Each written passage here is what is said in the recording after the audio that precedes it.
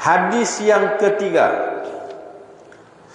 Seringan-ringan seksaan di neraka. Ha, Seringan-ringan seksaan di neraka. Anin Nu'man bin Bashir radhiyallahu anhu ma qala sami'tu Rasulullah sallallahu alaihi wasallam yaqul Inna ahwana ahli nari azaban yawmal qiyamah La rajulun yudha'u fi akhmasi qadamayhi jamratani Yaghli minhuma dimaghuhu Ma yara anna ahadan ashaddu minhu azaban Wa innahu li ahwanuhum azaban la ahwanuhum azaban. Muttafaqun alaih. Daripada Nu'man bin Bashir radhiyallahu anhu berkata aku mendengar Rasulullah sallallahu alaihi wasallam bersabda Sesungguhnya seringan-ringan seksaan penghuni neraka pada hari kiamat ialah seorang yang akan diletakkan di bawah tapak kakinya dua buah bara api neraka sehingga mendidih dari sebab panas kedua bara api tersebut otak yang ada di kepalanya. Dia menyangka bahawa tidak ada orang lain yang lebih dahsyat seksaan daripadanya padahal dia adalah orang yang paling ringan seksaannya. Hadis riwayat Bukhari dan Muslim. Cuba kita bayangkan betapa dahsyatnya seksaan yang paling ringan di neraka. Paling ringan. Tuan-tuan, ni seksaan yang paling ringan di neraka. Ah, Nabi sebut diletakkan dua bara api di tapak kaki qadamai sehingga panas tu menggelegak otak. Menggelegak otak. Kita tuan-tuan jangan tunggu menggelegak otak. Ambil saja pontong sigup tu cuba letak di sini. Kepanasan kita. Ha. makanya itu digambarkan itu adalah seringan-ringan seksaan. Dengan bahan kedua bara api yang diletakkan di bawah tapak kaki sudah boleh mendidihkan otak yang ada di atas kepala maka betapa pula kalau seksaan yang lebih berat daripada itu kita teringat peristiwa bila Nabi sallallahu alaihi wasallam dimi'rajkan oleh Allah. Diangkat dari uh, Masjidil Aqsa uh, perjalanan Nabi Isra Nabi itu dari Masjidil Haram ke Masjidil Aqsa lalu diangkat Mi'raj dari Masjidil Aqsa ke Sidratul Muntaha.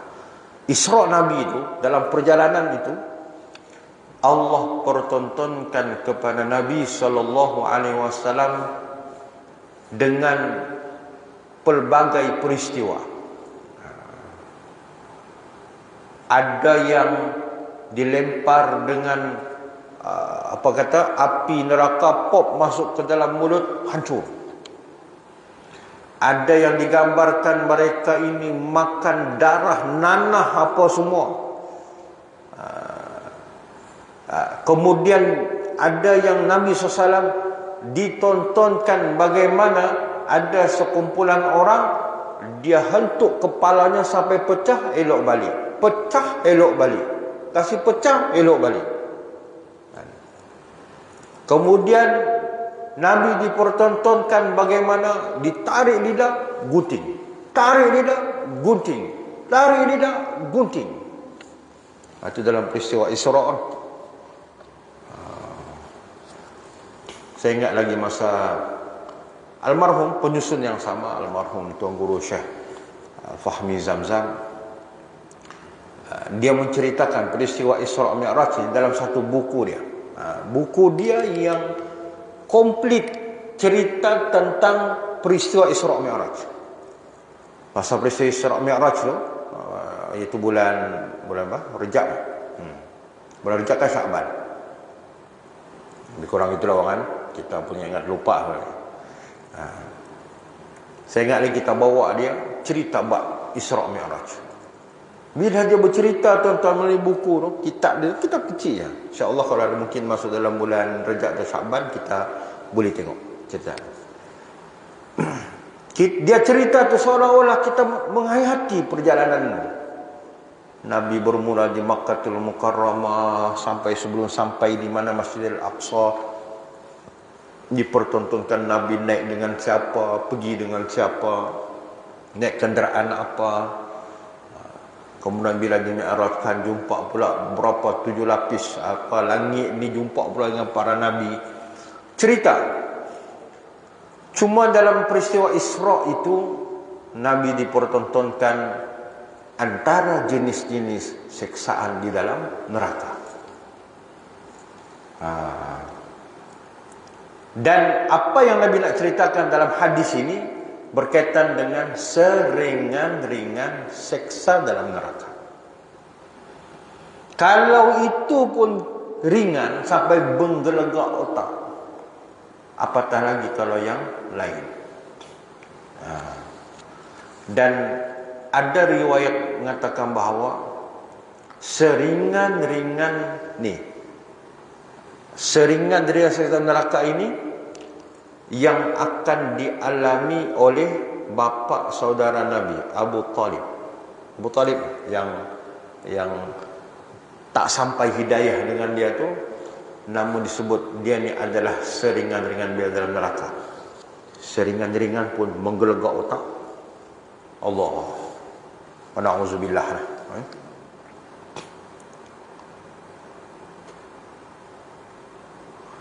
Maka betapa pula kalau seksaan yang lebih berat lagi Rasanya tidak ada seorang pun Yang mampu untuk berdiri di atas bara api yang panasnya boleh mendidihkan otak yang ada di kepala.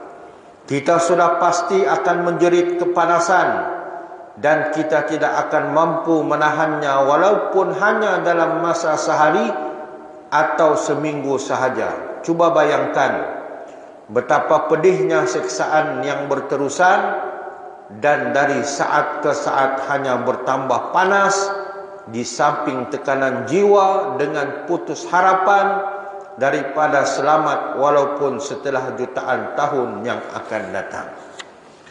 Ha, bayangkan lama dia menghadapi seksaan sedemikian ha, sehari kita di dunia seribu hari. Ha, istilah macam mana? Ha, sehari di dunia ibaratkan seribu hari di akhirat ha, begitulah lebih kurang lah eh? tempoh dia tu lama apatah lagi sedang menghadapi seksaan seringan-ringan seksaan na'udzubillah. Semina dirahmati Allah Ta'ala sekalian. Selesai hadis yang ketiga kita masuk hadis yang keempat.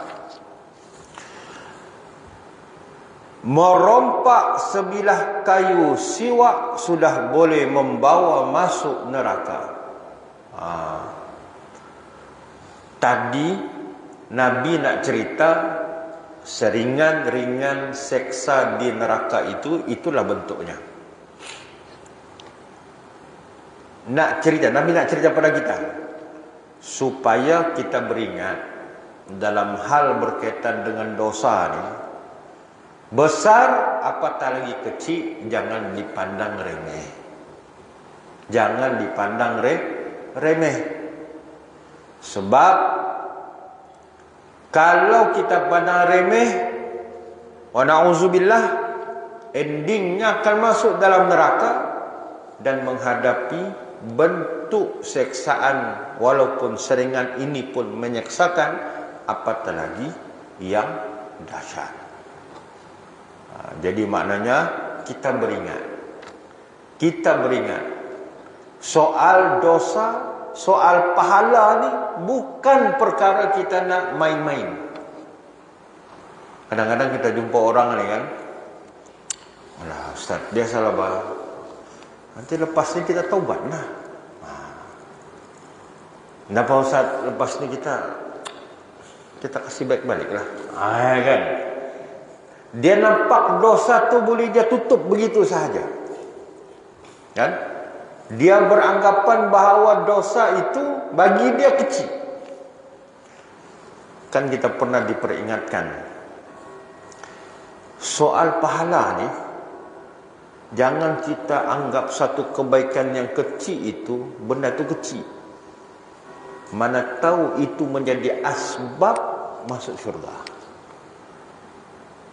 Seorang pelacur, ini cerita famous. Asbabnya dia nampak seekor anjing yang sedang dalam kehausan, dia bagi minum. Dia bagi minum. Allah pandang dengan rahmatnya, dia masuk syurga. Seorang abid yang hidupnya penuh dengan ibadah kepada Allah. Allah uji sikit ya. Asbab itu dia masuk dalam neraka. Itu kita dipesan jangan kita anggap kebaikan yang kecil itu kecil. Sebab dengan asbab itu boleh masuk dalam syurga. Jangan kita memandang dosa itu kecil mana tahu dengan dosa kecil itulah asbab masuk neraka. Nauzubillah. Itulah hidup kita ni tuan-tuan, perhitungan dia, hidup orang beriman ni, perhitungan dia dua aja. Pahala, dosa. Pahala, dosa. Kita tidak akan lepas daripada dua hal. Dalam hidup kita, Datang ke masjid jemaah pahala. Kan? Dalam bab makan contohnya. Kau makan perkara yang halal, pahala. Tapi kalau makan yang haram, dosa. Uh, makan sidalau bakas. Orang suruh jangan makan, dimakannya lagi. Kalau termakan, macam mana kan? Tapi sengaja makan, Pak nimpas-nimpas di ranau kundasang-kundasang keke pula ni. Merasap dia selalu ni macam siuk ni pula dia bilang. Sudah terang-terang tu di sana bakas, sinarau bakas. Tapi dulu tuan-tuan, dululah. Orang-orang yang bukan sabahan, bila dia lipas mana tahu sinarau bakas tu apa kan? Orang dah tahu. Jadi menyenggah. Bila menyenggah, konon-konon mau pergi merasa mengoda lah kan nasib baik orang nyuruh jual ni dia nampak orang ni Islam pasal pakai itu ada yang pakai tudung apa semua dia bilang ini tidak halal Ui, terkejut dia orang ya kau mana itu kadang-kadang kalau kita limpas sekarang ni ada seorang kadang letak situ tidak halal ha, non halal ha, sebab yalah kalau kita sabahan apa eh ada juga bahasa sabahan bukan dia tahu tu bakas tu apa Kan? Bukan dia tahu. Dia pergi siuk-siuk dia pergi singgah sana. Saya dulu pun mana saya tahu bakas-bakas apa bin ni kan. Ha, bila kita tahu begitu. Satu lagi yang sebut apa? Uh, sup bak tutah apa? Apa? Bak kan? Bak kuteh. Ah itu. Man, saya sendiri pun dah tahu. Rupa-rupanya biar orang kawan kasih tahu rupanya sup babi. Kan? Baru kita tahu kan. Jadi nak cerita apa tuan-tuan? Hidup kita tidak akan terlepas daripada dua hal ni. Pahala dosa. Buat baik dapat pahala. Buat buruk, buat perkara yang Allah Ta'ala larang, dapat dosa. Dan lorong bagi mereka nak menuju ke dalam syurga, kebaikan. Dan sudah pasti orang yang buat perkara-perkara yang tak baik, ataupun melanggar perintah Allah neraka. Ha, jadi tuan-tuan dirahmati Allah ni semuanya nak mengingatkan kita. Ha, tadi disebut sebagai bentuk ha, seringan-seringan seringan-seringan seksa di neraka. Ini pula merompak sebilah kayu siwak sudah boleh membawa masuk ke neraka. Ha. Kayu siwak bah, kayu siwak. Kan? Kecil siapa itu kan? Kalau beli pun sedikit 50 sen je. Eh mahal jual lah. Karena sekarang ni pun mahal juga. Ha. Tapi yalah kayu siwak tu untuk apa? Untuk kesiwak dingin. An Abi Umamah Iyas bin Tha'laba Al-Harithi radhiyallahu anhu anna Rasulullah sallallahu alaihi wasallam qala Man iqtata'a haqqa imri'in muslimin bi yaminihi faqad awjaba Allah lahu an-nar wa harrama 'alaihi al-jannah. Faqala rajulun wa in kana shay'an yasiran ya Rasulullah. Faqala wa inna qadiban min arakin rawahu muslim وعن عمر بن الخطاب رضي الله عنه قال لما كان يوم خيبر أقبل نفر من أصحاب النبي صلى الله عليه وسلم فقالوا فلان شهيد وفلان شهيد حتى مروا على رجل فقالوا فلان شهيد فقال النبي صلى الله عليه وسلم كلا إني رأيته في النار في burdatin ghallaha au aba'atin. Rawahu muslim.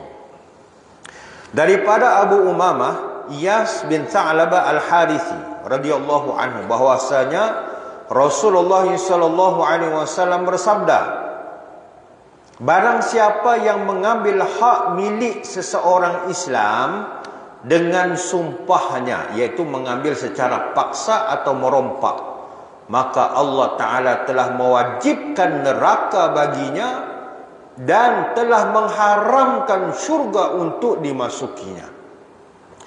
Kemudian ada seorang lelaki yang bertanya, kalau hanya barang yang sangat sedikit, ya Rasulullah. Ha, tadi dia kata ambil secara tanpa hak, ha, dengan merompak, ha, dengan secara paksa.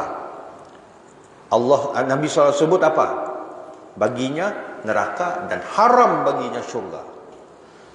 Ini sahabat Nabi tanya, ah, kalau sikit saja ya Rasulullah, sikit saja. Ah. Nabi sallallahu alaihi wasallam menjawab, walaupun hanya sebilah kayu ara. Kayu ara ini kayu yang digunakan untuk bersiwak. Kau curi tu pun sikit tu pun maka diharamkan ke atasmu syurga. Riwayat Muslim. Ada satu riwayat lagi yang diriwayatkan oleh daripada Umar bin Khattab dia kata setelah selesai peperangan Khaybar ada segolongan di kalangan sahabat Rasulullah sallallahu alaihi wasallam datang menghadap kepada beliau. Kemudian mereka kata si fulan tu mati syahid. Si fulan tu mati syahid. Sehingga akhirnya mereka menyebutkan nama seorang laki-laki. Mereka berkata si fulan itu juga mati syahid. Lalu Nabi SAW bersabda, tidak. Kata. Nabi kata tidak. Ha? Sahabat-sahabat sudah kata, oh dia itu mati syahid, dia itu mati syahid. Dalam perang khaybar, selepas perang khaybar. Ha? Bila Nabi dengar, Nabi kata apa? Tidak. Sama sekali tidak.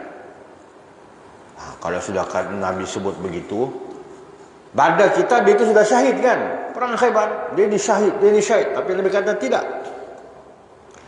Apa Nabi sebut? Fulan itu saya lihat dimasukkan ke dalam api neraka kerana menyembunyikan selembar, selendang atau uh, disebut dalam rawi yang lain selembar baju kemeja daripada harta rampasan perang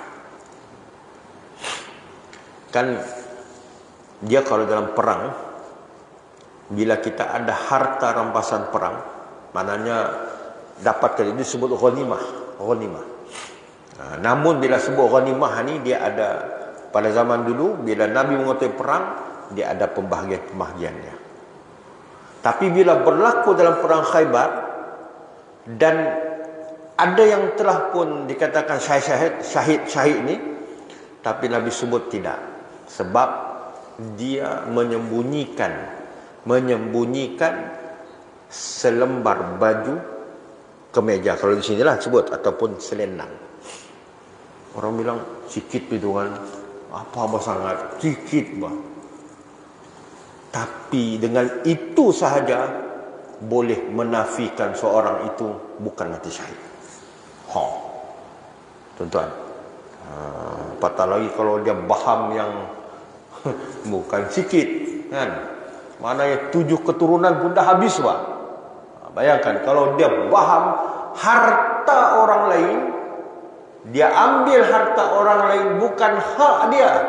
Kalau sedikit pun Nabi sebut tak masuk tak masuk syurga. Bayangkan kalau banyak. Ha, oi bahaya tuan-tuan. Kita lah semua ni berkena beringat. Saya, tuan-tuan, semua kita ni kena beringat. Di mana kita berada jaga hak orang lain. Orang lain ada hak, jangan kacau. Orang punya hak, jangan ambil. Baik berlaku, ini, ini berlaku tuan-tuan. Di mana-mana pun berlaku. Ha, kadang-kadang ha, kita pun tak sedar, kita pun melakukan juga. Bukan hak kita, kita pergi ambil. Ha, ini berlaku. Kalaulah diceritakan dalam hadis ini, keadaan orang yang mengambil hak mengambil harta orang lain walau sedikit pun tak masuk syurga apatah lagi kalau bah, banyak.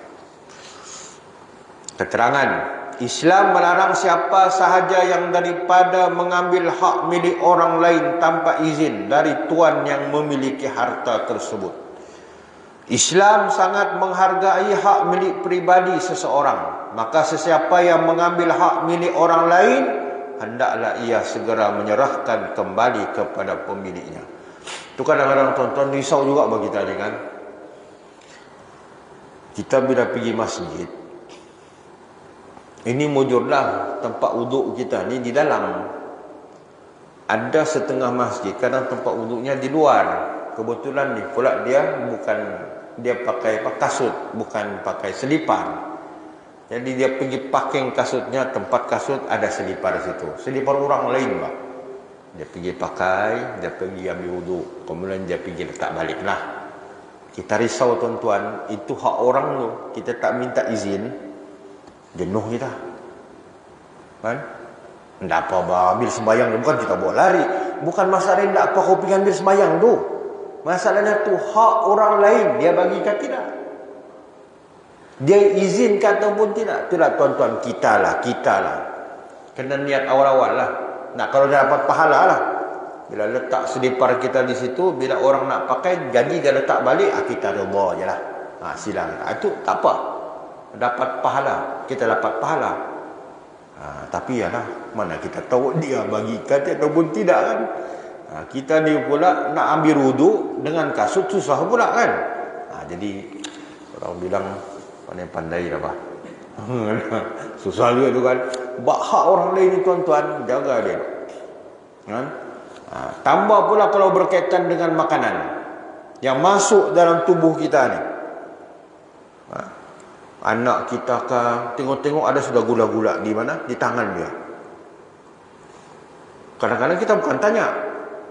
Kasi biar aja buat dah tahu kan. Jangan. Kena tanya siapa bagi. Siapa semua apa ini kata kena tahu siapa yang bagi. Takut dia ambil hak budak lain. Kita yang bapak ni tanggungjawab budak-budak ni dia rimbat saja gula-gula ni memang habuan orang kan. Ha, tapi kena kena tanya. Apatah lagi hal berkaitan masuk dalam perut kita. Maka sesiapa yang mengambil hak milik orang lain hendaklah ia segera menyerahkannya kembali kepada pemiliknya. Walaupun benda itu hanya sedikit sahaja. Seseorang boleh dimasukkan ke dalam api neraka akibat dari mengambil sebatang kayu miswak sahaja iaitu apabila ia menganggap ringan hal itu dan mati dalam keadaan tidak sempat untuk meminta halal dari tuan punya barang tersebut. Wih berat tuan, berat sungguh kita pun dah tahu lepas ke tidak ni. Ha, itulah tuan-tuan, kita ni biarlah mudah untuk meminta maaf. ataupun mudah untuk minta dihalalkan jumpa kawan-kawan halalkan lah apa-apa bentuk kita kita kadang-kadang tahu kadang tidak tahu kan? Ha. risau kita. Kita anggap benda tu ringan tapi hakikatnya berat hmm? oleh itu hendaklah kita berhati-hati kalau kita berjual beli dengan orang lain. Dan hendaklah kita menjauhi harta-harta yang haram dan jangan melakukan apa-apa kezaliman terhadap hak milik orang lain. Kerana yang demikian itu boleh membawa kepada kebinasaan yang sangat besar sekali dalam jual beli pun sama juga itulah tuan-tuan dalam bab jual beli ni si penjual biar lebih jangan kurang takut-takut timbangan kita tu kan syuk-syuk kita timbang terkurang yang penipu yang pembohong tu itu lain cerita lah dalam timbangan kan tapi kalau kita pun yang memang jaga, jujur orang bilang, biar lebih, jangan ku kurang. Ha, dalam apa lagi? Dalam hak orang lain. Ini kalau contohnya lah, contohnya dalam kerajaan ni kan, ha, sebelum pejabat awam kau semua ni. Ada juga orang yang main sapu-sapu orang atas supaya pop dia dapat di atas. Dapat jawatan yang bukan hak dia. Ada dia main sailang orang bilang kan, pop di sailangnya orang kawannya lain. Ada. Nah, sedangkan itu bukan hak dia dan dia ambil hak orang lain. Nah, ada berlaku. Apatah lagi kalau melibatkan macam-macam lah tuan-tuan kalau mau cerita ni. Kalau berkaitan dengan hak orang lain ni. Hmm? Dan semuanya itu akan membawa kebinasaan. Lah satu perenggan lagi ya. Kemudian masalah menggelapkan harta negara atau harta sesuatu kumpulan. Nah, hai disebut terang-terang. Kan? Jamaah organisasi atau yang diistilahkan pada masa sekarang ini dengan perkataan korupsi. Itu tapis-tapis lah itu kan. Nak bagi jelas rasuah. rasuah kan? adalah suatu amalan yang terkutuk dan dosa yang sangat besar sekalipun yang digelapkan itu hanya seharga selembar baju sahaja ni kita takut kita berorganisasi kita ada satu kumpulan kita libatkan diri kita dengan hal mengurus negeri hal mengurus kampung hal mengurus masjid pun sama juga Ha, tuan-tuan, saya pernah jumpa orang-orang yang mengurus masjid ni bila ada berkepentingan. Ha, ni jangan. Saya selalu sebut di mana-mana masjid, jangan urus rumah Allah Taala ada kepentingan dunia. Kalau ada kepentingan dunia, masjid itu bukan tempat penyatuan tapi menjadi tempat perbalahan. Eh nampak tuan-tuan, nampak. Kita nampak bergaduh bah. bertumbuk dalam masjid pun ada sebab kerana apa ni maknanya ada orang yang mengurus rumah Allah Ta'ala ni ada kepentingan jangan ada kepentingan. Bila ada kepentingan habis. Ha, adalah di sekitar-sekitar kawasan kita ni pun. Nampak macam tu juga. Kalau bab-bab kuliah-kuliah begini majlis-majlis ilmu cukup berkira berkira tuan-tuan. Kita mau cakap lah. Kan mengatur. Ya buat majlis kan mesti ada lah. Dia punya budget buat apa buat jamuan apa-apa semua kan oi berkira ada tak boleh dia kata. Tak boleh ni. Ha, ni kita pandai-pandai lah kamu cari di masjid sendiri. Tapi bila buat projek masjid dia aja dulu-duluan. Tidak pula bawa bincang pada ahli jalan kuasa dia yang meluluskan. Ha tuan-tuan. Maknanya ada kepentingan. Tapi akhirnya tuan-tuan kadang-kadang kesian juga Allah keluarkan dia daripada pentadbiran masjid dalam keadaan yang cukup hina. Ini berhati-hatilah berhati-hati. Kan? Kita risau sebab kita mentadbir masjid ni kita tadbir satu rumah Allah. Yang kedua infak orang. Ha, infak orang ni. Itulah tuan-tuan jangan risau. Infak orang ni kena kasih subur subur ya Kalau itulah saya sebut kita mampu contohnya lah nak jemput penceramah-penceramah yang yang orang bilang selebriti kah yang ada nama kah dengan suatu bajet yang kita sediakan jangan berkira. Jangan berkira. Kenapa? Percayalah infak orang akan terus subur. Ha, infak orang akan terus subur ini kadang-kadang tuan-tuan dia berkira tu. Saya pernah satu pergi masjid. Berkira punya masjid dari segi pengurusan. Hal kuliah ilmu hal berkaitan dengan program-program agama dibuat di dalam masjid ini dia cukup berkira itu dia berkira ingatkan berkira itu nak buat lawa-lawa lah masjid itu kan. Rupanya tidak kalau pergi ke tandas dia selak tandas pun tiada bah. Jadi kalau kita duduk tandas tu kan buang air kecil buang air besar tu begini bah sebelah tangan menahan sebab selak tandas pun tiada. La ilah. Tapi tengok di akaun laporan kewangan, hui. Rasa-rasanya beli dua lori bawa selak tandas tu beli. Ha, tu.